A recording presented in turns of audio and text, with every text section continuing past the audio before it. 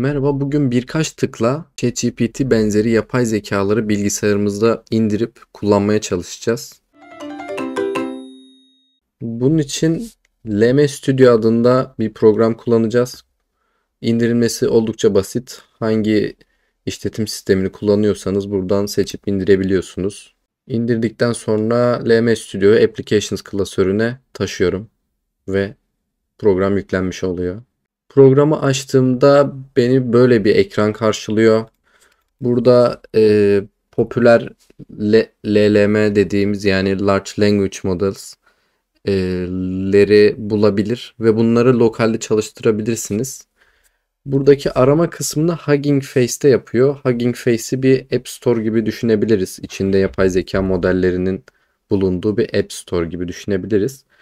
Ee, geçtiğimiz günlerde e, Facebook Llama adında bir yapay zeka, open source yapay zeka modelini yayınladı.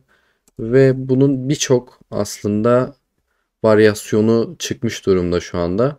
Ve bazıları ChatGPT ile e, yarışır bir duruma geldi. Bunun için Lama'yı indirip denemek istiyorum. Burada sıralamayı Most Likes şeklinde en fazla beğenilen modelleri e, listelemek istiyorum. Şuradan Hugging Face sayfasına gidip e, bakabilirsiniz. Bilgisayarınızın e, RAM'i ya da e, işlemcisi, GPU'su çok e, iyi değilse daha küçük modelleri, e, daha az RAM tü- e, tüketecek modelleri tercih etmenizi e, öneriyor aslında.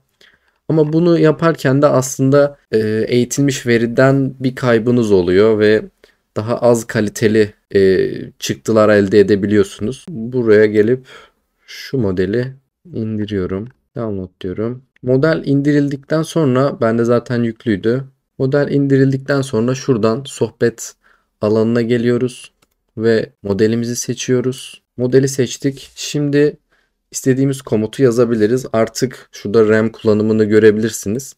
Şu anda bu model bilgisayarımızda çalışıyor. Yani offline bir şekilde aslında ChatGPT benzeri bir yapay zeka çalıştırıyoruz bilgisayarımızda. Şu anda bir yılan oyunu oluşturmasını istedik modelden. Bakalım nasıl bir cevap verecek veya oyun çalışacak mı?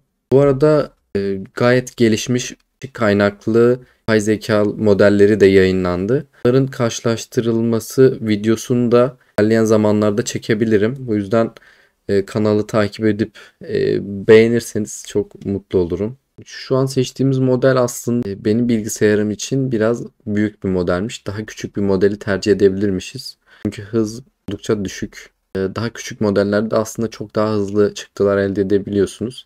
Burada da kaliteden bir kayıp e, oluyor haliyle. Yapay zekayı bence bilgisayara indirip kullanabilmek çok güzel. Ve bunu e, çeşitli projelerde istediğiniz gibi kullanabilirsiniz. Kodumuz tamamlandı. Bu da bir index. Index HTML'i açıyorum. Evet.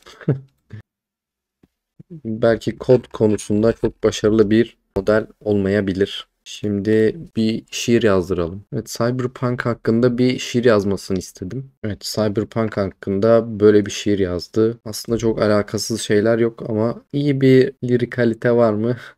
Bilemiyorum. Şimdi başka bir model denemek istiyorum. Ee, DeepSeek Coder diye. Ee, şimdi o modele geçiş yapacağım. Evet, burada JavaScript kullanarak binary search algoritmasını yazmasını istedim. Aslında çok zor bir örnek değil. Hemen şuradan test edeceğim. Koda çok detaylı bakmadım. Evet 3 yazıyor. Çalışıyor gibi. Aynı Snake kodunu buna yazdırmak istiyorum şu anda. Gördüğünüz gibi bu model daha küçük bir model. 4 GB'lık bir model.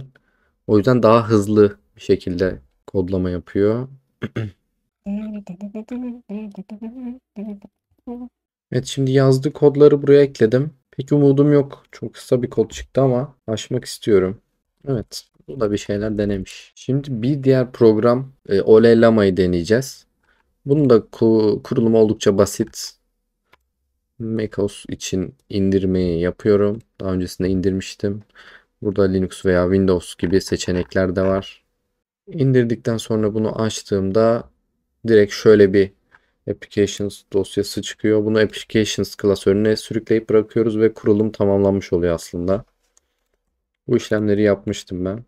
Evet, OLLAMA'yı çalıştırdığımda herhangi bir şey açılmıyor. Çünkü terminalden aslında kullanıyoruz o leylamayı. Mesela burada kullanım örneğini vermiş. Kodlama diye bir e, model var. Oldukça popüler ve bunun atıyorum şu 7 milyarlık versiyonunu şu şekilde kullanabilirsiniz diyor. Ben bunu alıp direkt çalıştıracağım. 7B sürümüyle çalıştıracağım. Diğerleri çok, diğer modeller çok büyük. İndirme işlemi yapıyor. Bu e, ilk sefer kullandığımız için şu anda bir indirme işlemi yapıyor. Evet model indirildi. Şimdi ekstra bazı dosyalar daha yüklüyor.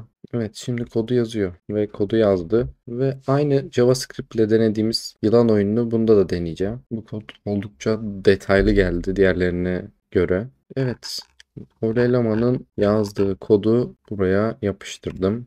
Şu şekilde. Şimdi çalıştırıyorum.